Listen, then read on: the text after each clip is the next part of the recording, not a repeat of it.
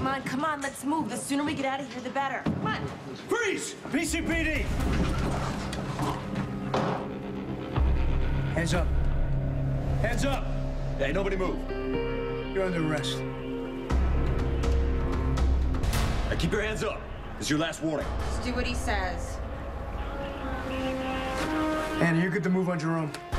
I want you all to keep your hands in the air and turn around slowly. That's right. And you all know the drill. Down on your knees and your hands behind your heads.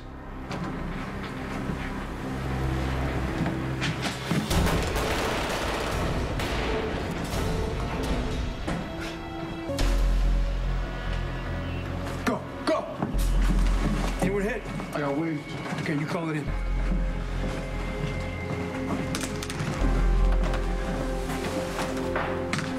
This guy's still alive for now.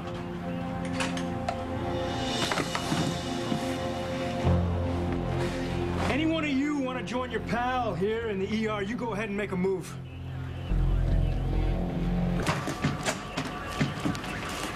You are making a huge mistake, Detective. Oh, yeah, you hear that, Wes? We got it all wrong. Yeah, yeah, this is uh, baking soda, right? I hope you have your affairs in order, Miss Ashford, because you and Julian Jerome are going away for a very long time. You're under arrest. You have the right to remain silent. Anything you say can and will be used against you in a court of law. You have the right to an attorney. If you cannot afford an attorney, one will be provided for you free of charge. What? You understand these rights as I've explained them to you? Look what I found. TJ! Jerome Lookout. No, that's my son. He has nothing to do with this. Let him go. We were supposed to take... Now, he's not a part of this. What are you doing here? I had to know if it was true. I had to see it with my own eyes.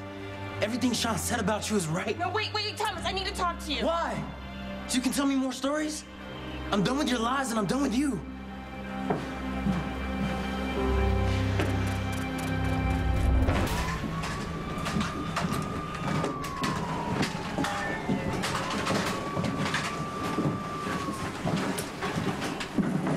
All right.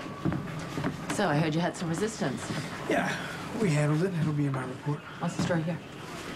Says she'll only talk to you. Maybe she's got something to offer. Oh, okay. Thanks, Detective. Yeah, good. Good work. All right. We can save this conversation until you're booked. You know what? This can't wait. May I remind you that you've been Mirandized. Anything you say can and will be No, used against you No, it's not gonna happen, okay? Because you've arrested the wrong person.